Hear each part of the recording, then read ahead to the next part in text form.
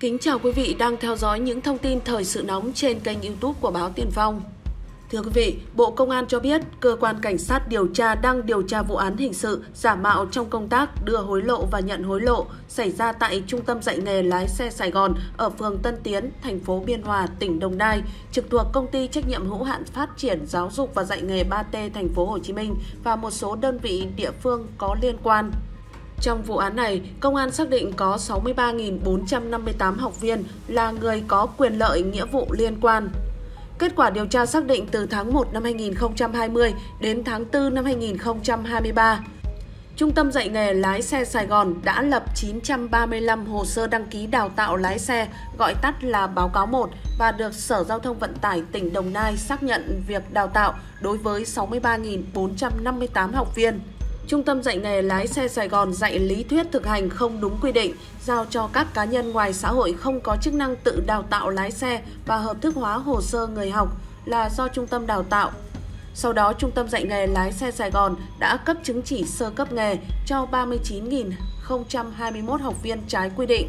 Để phục vụ yêu cầu điều tra và đảm bảo quyền lợi của người học lái xe, Bộ Công an đề nghị toàn bộ người học lái ô tô các hạng B1, B2 và C trong thời gian từ tháng 1 năm 2020 đến tháng 4 năm 2023 ở Trung tâm dạy nghề lái xe Sài Gòn khẩn trương liên hệ làm việc với cơ quan cảnh sát điều tra tại địa chỉ 47 Phạm Văn Đồng, phường Mai Dịch, quận Cầu Giấy, thành phố Hà Nội,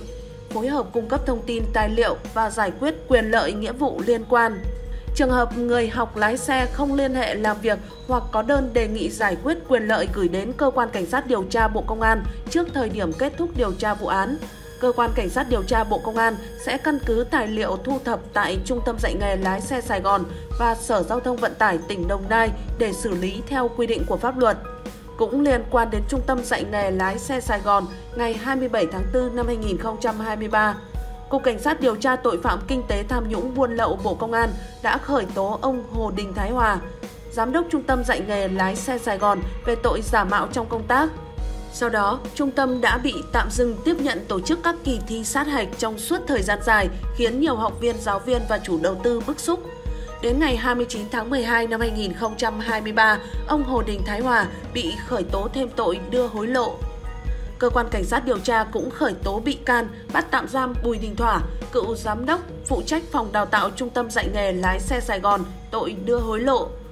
Nguyễn Thị Mỹ Nhân, Phó trưởng phòng, Nguyễn Nhân Cường, chuyên viên phòng quản lý vận tải phương tiện và người lái thuộc Sở Giao thông Vận tải tỉnh Đồng Nai về tội nhận hối lộ. Đặng Thái Hân, cựu Phó Giám đốc Phát triển Thị trường Trung tâm dạy nghề lái xe Sài Gòn, Giám đốc Công ty Cổ phần Đầu tư Giáo dục Nghề nghiệp K27 về tội giả mạo trong công tác.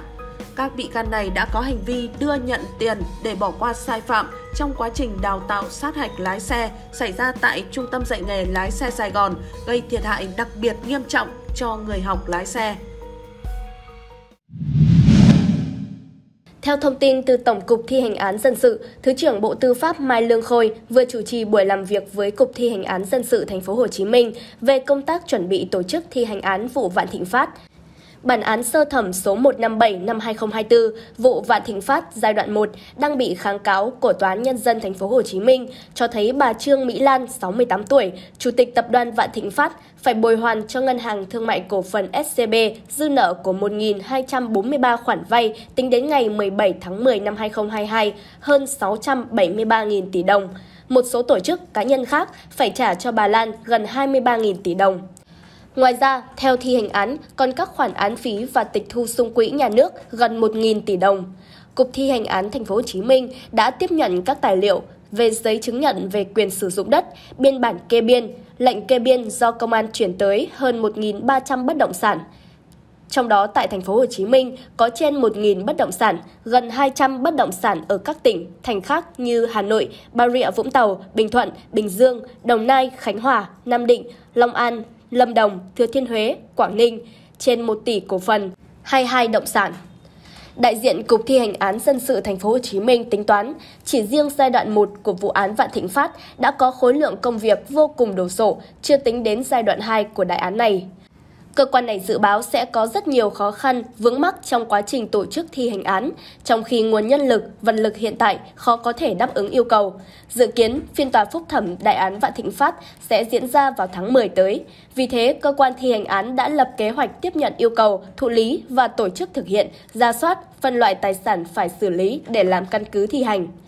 thi hành án thành phố Hồ Chí Minh cũng sẽ xây dựng phần mềm thụ lý, ra quyết định thi hành án, thông báo rộng rãi việc tiếp nhận tiền khắc phục hậu quả, có phương án xử lý các tình huống phát sinh và hạn chế điểm nóng. Thứ trưởng Bộ Tư pháp Mai Lương Khôi nhìn nhận khối lượng công việc trong vụ Vạn Thịnh Phát sẽ rất đổ sộ, thách thức với cơ quan thi hành án dân sự. Ông yêu cầu Cục Thi hành án dân sự thành phố Hồ Chí Minh ra soát kỹ bản án, các tài sản phải xử lý trong giai đoạn 1, từ đó đề xuất cụ thể quy trình tổ chức thi hành án theo hướng giảm bớt các khâu, quy trình để đảm bảo tính khả thi. Thứ trưởng Tư pháp giao Tổng cục Thi hành án dân sự có phương án bổ sung kịp thời nguồn chấp hành viên cho các cơ quan thi hành án ở thành phố Hồ Chí Minh.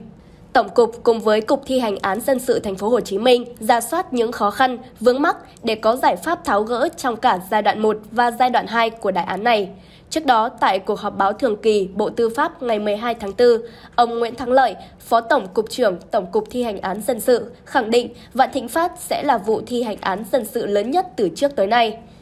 Ông Lợi cho hay, tòa sơ thẩm mới tuyên án hôm qua, số tiền bồi thường thiệt hại rất lớn, rất nhiều tài sản và đương sự liên quan,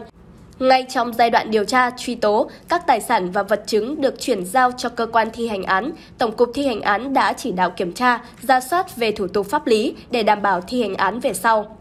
Tổng cục trưởng Tổng cục thi hành án dân sự Nguyễn Quang Thái cũng khẳng định đã xây dựng kịch bản thu hồi tài sản chi tiết cho các vụ đại án Vạn Thịnh Phát, FLC, Tân Hoàng Minh, Việt Á để có biện pháp bố trí nguồn lực phù hợp. Ngày 12 tháng 8, Tòa án Nhân dân thành phố Hà Nội mở lại phiên tòa xét xử bị cáo Nguyễn Sĩ Tá, 52 tuổi, cựu vụ trưởng vụ tổng hợp thuộc Ủy ban Dân tộc về tội lừa đảo chiếm đoạt tài sản. Bị hại trong bị cáo là ông Đỗ Anh Dũng, chủ tịch công ty trách nhiệm hữu hạn thương mại dịch vụ và khách sạn Tân Hoàng Minh, gọi tắt là tập đoàn Tân Hoàng Minh. Vụ án từng được đưa ra xét xử hồi tháng 6, nhưng do hội đồng xét xử quyết định trả lại hồ sơ yêu cầu điều tra bổ sung một số nội dung.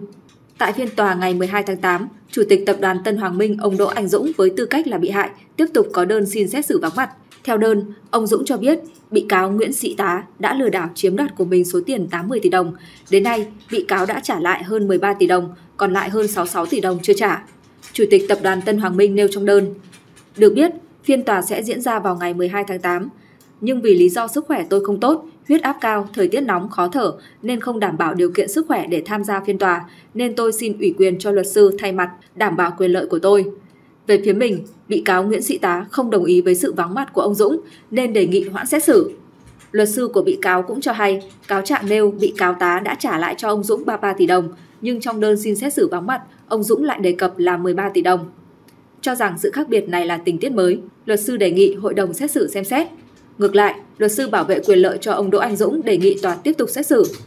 Nêu quan điểm, đại diện Viện Kiểm sát cho thấy ông Đỗ Anh Dũng có đơn xin xét xử vắng mặt. Trong đơn, ông Dũng có nêu về số tiền 13 tỷ đồng, mâu thuẫn với tài liệu điều tra và cáo trạng truy tố. Sự vắng mặt của ông Đỗ Anh Dũng sẽ không thể làm rõ số tiền mà bị cáo tá đã chiếm đoạt, cộng thêm việc một số người có quyền lợi và nghĩa vụ liên quan cũng xin vắng mặt. Kiểm sát viên đã đề nghị hoãn phiên xét xử. Hội đồng xét xử sau khi hội ý cho biết, ngày 12 tháng 8 là lần thứ ba mở phiên tòa và phải tiếp tục hoãn. Để phục vụ việc giải quyết vụ án, luật sư cần trao đổi với ông Đỗ Anh Dũng để làm rõ về số tiền đã được bị cáo tá trả lại bởi hiện nay đang có sự mâu thuẫn. Chủ tọa phiên tòa nhấn mạnh, trường hợp luật sư và ông Dũng không làm rõ được số tiền này thì phiên tòa tới chúng tôi sẽ sử dụng biện pháp tố tụng khác vì số tiền không thống nhất thì không bao giờ có thể xét xử được. Hội đồng xét xử do đó quyết định hoãn phiên tòa chưa ấn định ngày mở lại. Theo cáo buộc của Viện Kiểm sát, Công ty Cổ phần Thương mại và Đầu tư Đức Anh, gọi tắt là Công ty Đức Anh, do bà Đinh Thị Hải Yến giữ chức Chủ tịch Hội đồng Quản trị, là chủ đầu tư dự án đảo núi Cuống tại xã Đại Bình, huyện Đầm Hà, tỉnh Quảng Ninh. Vào cuối năm 2018, công ty Đức Anh muốn bán dự án trên và nhờ ông Nguyễn Sĩ Tá tìm người mua. Nhận lời, ông Tá mang một quyển quy hoạch địa điểm đảo núi Cuống đến tập đoàn Tân Hoàng Minh, gặp ông Đỗ Anh Dũng giới thiệu bán dự án. Cựu vụ trưởng nói đảo núi Cuống đã được Ủy ban Nhân dân tỉnh Quảng Ninh quy hoạch phát triển du lịch đô thị sinh thái, nhà ở, khách sạn. Dự án này và cả công ty Đức Anh đều là của mình. Ngỡ là thật, ông Đỗ Anh Dũng đã nhận chuyển nhượng 100% cổ phần công ty Đức Anh với mức giá 400 tỷ đồng. ông Tá yêu cầu đặt cọc trước 20% tương đương 80 tỷ đồng, phần còn lại là 320 tỷ đồng. Ông Tá nói sẽ chỉ đạo ghi trong hợp đồng chuyển nhượng cổ phần công ty Đức Anh. Giữa tháng 1 năm 2019, đại diện công ty Đức Anh và ông Đỗ Anh Dũng ký hợp đồng chuyển nhượng cổ phần. Ông Tá cũng có mặt chứng kiến. Sau khi các cổ đông của công ty Đức Anh ra về, ông Tá ở lại và nhận đủ 80 tỷ đồng từ phía Tân Hoàng Minh và ký giấy biên nhận.